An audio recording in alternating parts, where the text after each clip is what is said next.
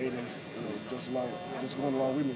Um, he's throwing the ball well. He's, he's uh, speaking vocal. Um, so we're, we're all trying to get better as, as spring goes along. And I think we're progressing rapidly. Give me an example of how something that happened in the first couple of days of spring where you say, okay, I'm a lot better off. I couldn't have done this last year, now I can do it. I think that uh, just speaking to my teammates, because uh, I didn't really know anybody. I just got here. But I think just talking to them and getting to know them better, uh, I can talk to them on a, on a football level and on a, on a personal level. How much contact have you had with Coach Cameron kind of during the offseason? You know, uh, I come pretty much up here uh, six days a week.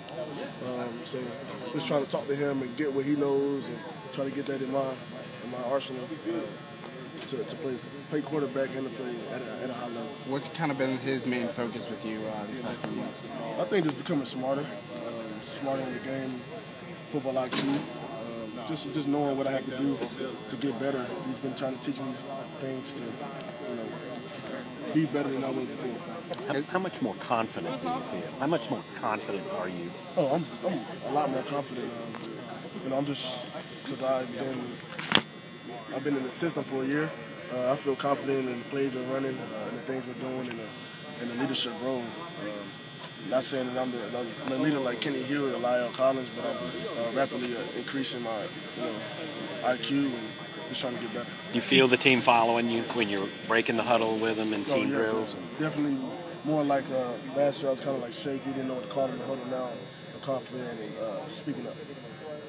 What about talk about your development in the passing game? What you need to do better there?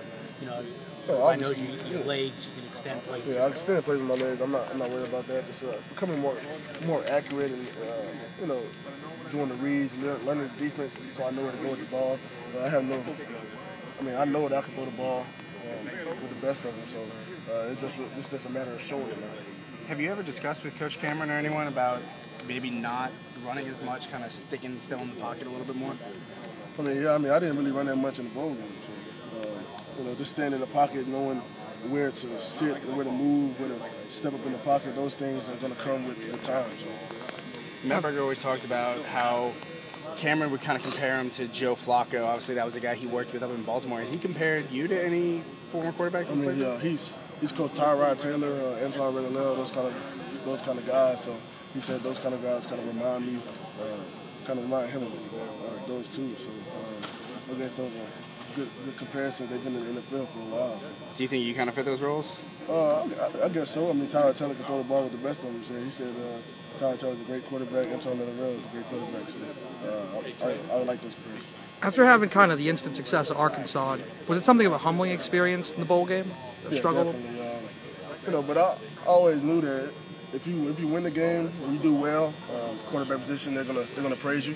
Uh, if you don't do well, they're gonna you know blame it all on you. So uh, it's just it's just a matter of um, just sticking in and kind of don't get too high, don't get too low. Did Zach have any advice for you on his way out, uh, leading this team? Oh uh, yeah, he.